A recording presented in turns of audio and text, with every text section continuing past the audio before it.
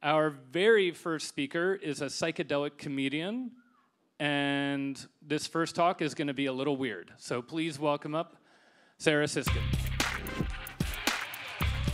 All right, this is going to get really weird. Everybody strap in. Uh, this is Will Smith eating spaghetti. I am showing you because it is the internet's litmus test for AI video, and it is getting hyper realistic. That last video is so real. It is, in fact, Will Smith actually eating spaghetti. He trolled the internet on this one, but it is getting really, really good. But while it is still imperfect, I want to know why it looks so trippy.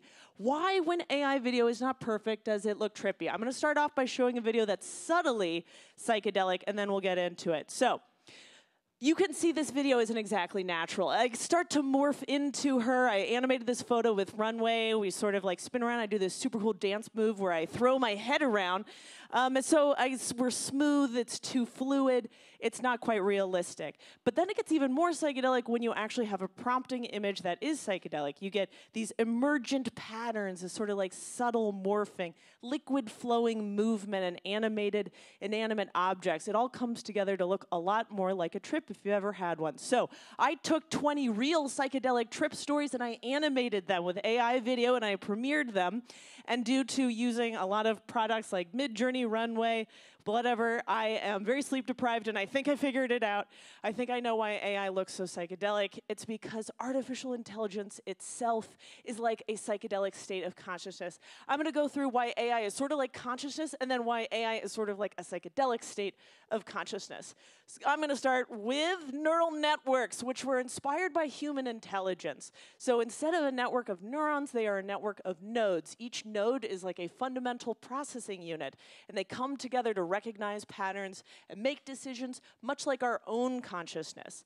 Together, we might have emergent consciousness, just like how one water molecule isn't wet, one neuron isn't conscious, and one node isn't conscious either. So we both might have properties of emergent consciousnesses. We also might be both black boxes. We don't understand how our own brains work, and we don't understand how AI works. And you know who else doesn't understand how AI works? AI. It can't explain how it got to an answer either. So we're both kind of like black boxes.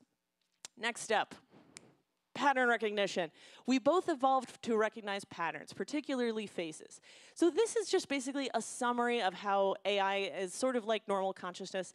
Now we're getting into how AI is sort of like psychedelic consciousness. It's gonna get weird, strap in everybody. Okay, first off, this is the amount of synaptic connections you have in your brain sober. This is your brain on mushrooms. This is sort of like AI's distributed learning where it's indexing information from a lot of different sources. So it's greater interconnectivity. That's the first way. Second one, tapping into the universal consciousness when you're on psychedelics is similar to the massive amounts of training data that AI is trained on. Very similar phenomenon of tapping into much greater knowledge. We are all interconnected in the cloud. Now, shamans can guide a psychedelic trip towards healing, which is kind of similar uh, to like how the engineers at Google's Deep Dream uh, bias the algorithm here, this footage of going to a grocery store to see dogs. So shamans can guide and engineers can bias the algorithm.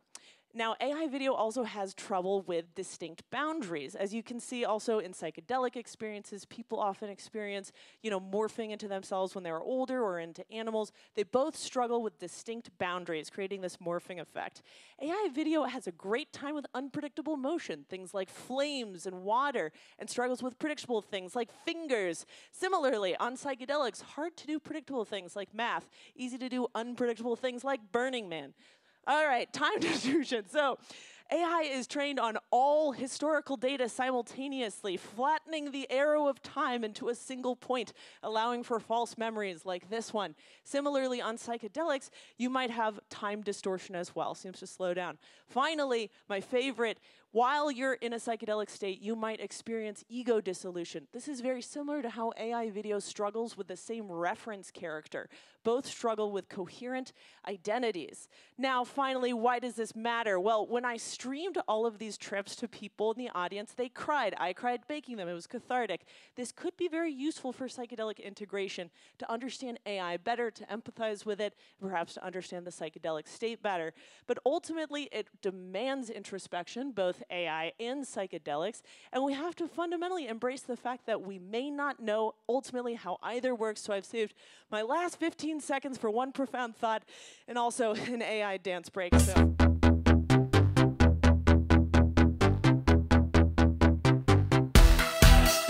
There's literally no point to this slide. Just wanted to dance.